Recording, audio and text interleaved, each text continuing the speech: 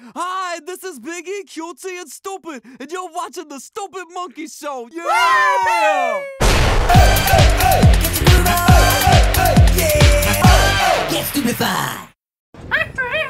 Three churros. I'm gonna eat at least five, maybe eight.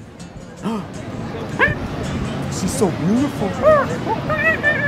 Talk to her. How am I gonna talk to a girl like that?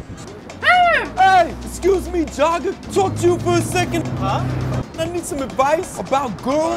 Yeah. What do I do? Give her a compliment. Thought you were an interesting looking woman, so let's have a cocktail. She's a musician. I'm a wrestler. Damn, that's all you have to say. Start wrestling. Wrestle her to the ground, take your shirt off. Straight up, so manly. Is your name Amy?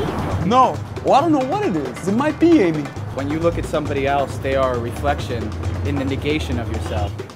So don't talk to her? They're just like buses. Miss one, you'll find another one. But this one's a really pretty bus. There's a little uh, analogy that I use. If I give you a dollar, you know, a Oh, dollar, sweet! Have you tried to talk to her? No, that girl may want to go home and kill herself. We don't know. I hope not. She's got that puppy to take care of. Hey, Biggie, good luck. Okay, thanks, guys. All right, here I go. I can do this.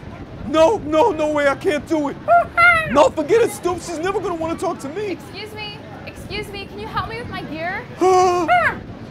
no, no, she ain't. So she's called somebody else. Hey, guy in the headband. You, the big monkey with his back turned. All right, that might be me.